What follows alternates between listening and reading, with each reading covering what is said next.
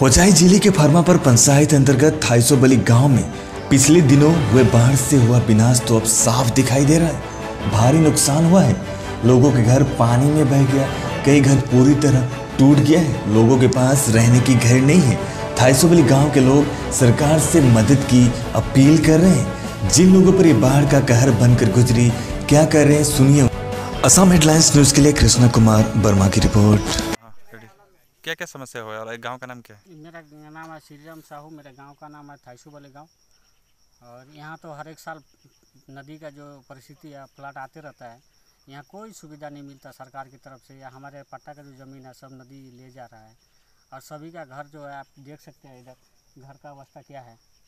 और यहाँ कोई सुविधा नहीं मिल रहा है। शिलादित्य दे आए थे मांडोली, आपका बर्दलंग पंचायत में तो बोल रहे हैं कि थाईसू वाली में कुछ हुआ नहीं, और हमारे यहाँ फ्लड मिनिस्टर क्या असम का फ्लड मिनिस्टर थे वो भी आए थे तो वो बोल रहे हैं कि नहीं यहाँ कुछ हुआ ही नहीं। आप लोग खुद देख सकते हैं क्या अवस्था हुआ है यहाँ का।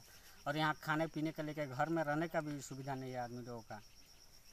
क्या मांग कर रहे हैं सरकार से? हम लोग सरकार से ही मांग करते हैं कि हम लोग रहने के लिए कोई ज़मीन दे या कुछ हम लोग को व्यवस्था कर रहने के लिए।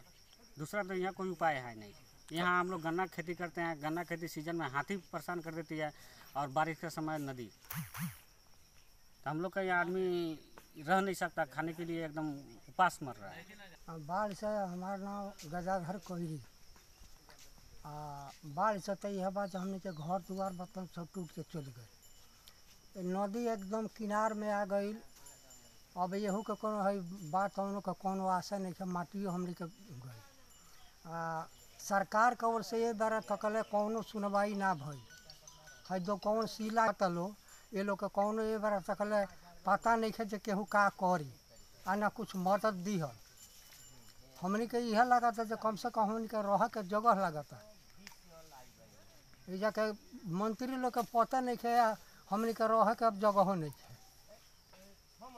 विधायक आई रहलन कि नहीं जाके लोकल जे विधायक बा? एमएलए जे बस? नहीं खेल नहीं खेल। केहू नहीं खेल? केहू नहीं खेल कोनो बड़का बड़का नेता लोग नहीं खेलवाई। बाढ़ के बाद से? हाँ। कुछ मदद मिलल बा कि नहीं? इतना घर कुछ नहीं खेल मिलल। का क्या चाहता है आप लोग के? हमनी के यह चाहता जो कम से कम रहे के जगह चाहता। आ ये टाइम में हमनी के घर के जगह लगे घर हमनी के रही तो बना के रह जा। घर द्वार तो सब दह के गइल पाका के घर टूट के सब दह गइल। हर दोसर का कहल? हर साल ही बाढ़ होता ना एजा हर साल आवता आवता तो अभी तो परवो साल बाढ़ आई रहे।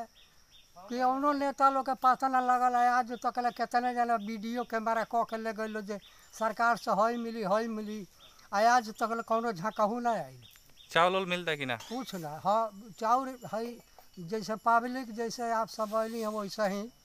जरा हो तो केहू केहू देता सरकार के ओर से अभी कुछ ना मिलल सरकारी चावल कार्ड वाला मिलला कि ना? कार्ड वाला मिलला। बस कार्ड वाला बाढ़ के लेके कुछ नहीं रहा ना बाढ़ के लेके कुछ नहीं मिलल सरकार के ओर से।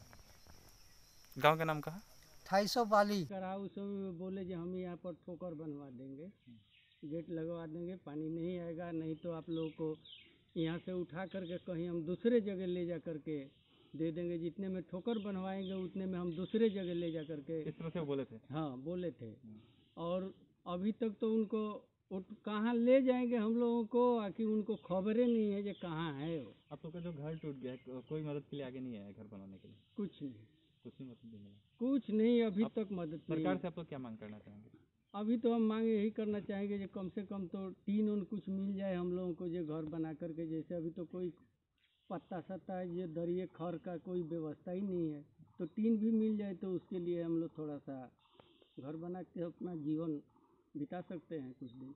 उसके बाद तो अब तो बरसात का दिन जाएगा उसके बाद ना कोई अपना सुविधा कर सकता है। आप लोग का एक गाँव है जो थाईसो गली में। कितना गाँव होगा इधर आप लोग का आसपास में? और घर जितना नुकसान हुआ घर यहाँ पर धरिए कि ये पच्चीस तीस घर है ये है जो कि ये बेघर ही है। समझ लीजिए पच्चीस तीस घर का लगभग है जो उनको अवस्था नहीं आप लोग कहाँ पे रह रहे हैं अभी? अभी हम लोग वहाँ मथावरी पर रह रहे हैं। अभी वहीं पे हाँ वहीं पर है वो हाँ कुछ लोग मथावरी पर कुछ और किसी को घर खोज करके उस घर में अपना गुजारा दूसरे के घर में कर रहे हैं। जैसे मैं हूँ, अब एक दूसरे ही का घर में गुजारा कर रहा हूँ। यहाँ पर आके सारा दिन यही सब उलाट रहे हैं, दुख कर रहे हैं बेहा निकाल रहे हैं, यही सब कर रहे हैं। अभी करें तो क्या करें? उपाय कौन सा है हम लोग के पास सरकार से कोई खबरें नहीं है जो कहाँ है तू लोग मर गया कि बचा ये भी तो खबर होना चाहिए ना। एम एल साहब का तो खबरें नहीं है। एम एल साहब तो एकदम पता ही नहीं है जो वो कहाँ है। आते नहीं है एमएलए कहाँ आए? वोट के बाद से एक बार भी इस गाँव में आए एक बार। आए थे यहाँ पर गन्ना का कोठिया लेकर के। तो उस समय में बोले जे ये मतलब इधर बम्बू लगा दीजिए। और जितना हम पैसा खर्चा करेंगे, इतने में कहीं आप लोगों को दूसरे जगह हम बसा देंगे। अभी तक तो वो बसा रहे हैं हम लोगों को, हम लोग नदी में जा रहे हैं।